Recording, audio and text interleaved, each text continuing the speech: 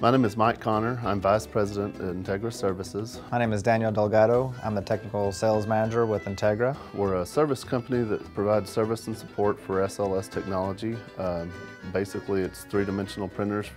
In the beginning, when the guys in the field reported back the work they were doing, they would type out everything in a Word document and just email that out to the company.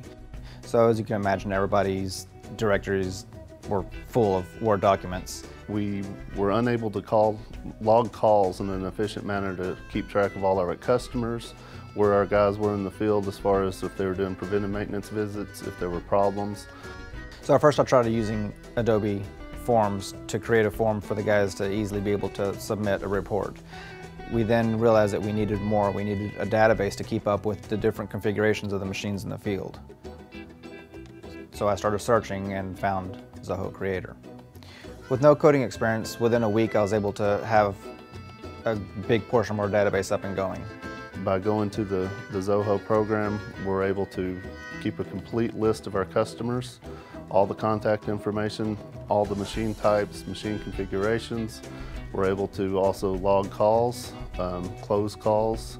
We use it for billing. I'm seeing much more activity from the guys in the field now. They can now sit in front of their machines with their iPhone and log in all the machine information and submit it live.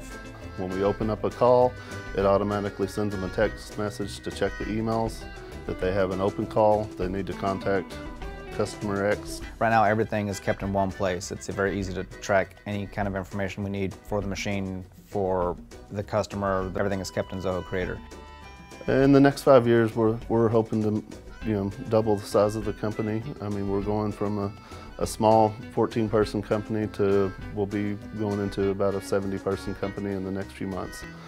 And the next five years, we'll probably see that growth double. It's grown into keeping up with personnel, um, submitting resumes for, for job postings in the field. The software program, it'll grow as we grow, as the more options and the more we learn about it, the more programming we can do with it uh, we'll be able to utilize it more in our future.